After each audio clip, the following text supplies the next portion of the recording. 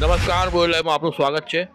છોટાઉદેપુર જિલ્લાના બોરદલી ગામનો દિવ્યાંગ યુવાન છે, દિનેશભાઈ ચમાયડાભાઈ રાઠવા. તે પોતે દિવ્યાંગ હોવા છતાં પણ એક અનોખી સિદ્ધિ હાંસલ કરી છે.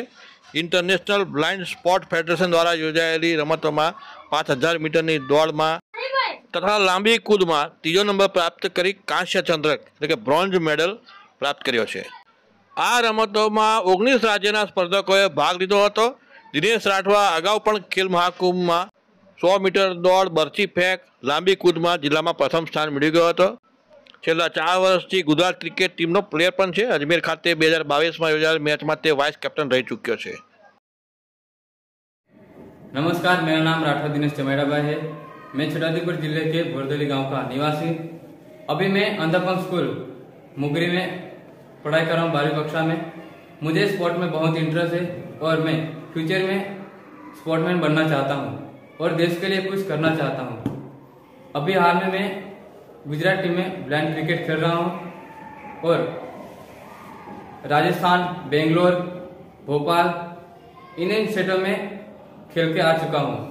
अभी हाल में मैं 2022 में दिल्ली स्टेट में जाके एफसा एथलेटिक्स खेल के आया हूँ। उसमें पाँच किलोमीटर रनिंग और लॉन्ग जंप में तीसरा तीसरा नंबर लाया हूँ और उसमें ब्राउन्स मेडल पहनाकर मुझे सम्मानित किया गया है।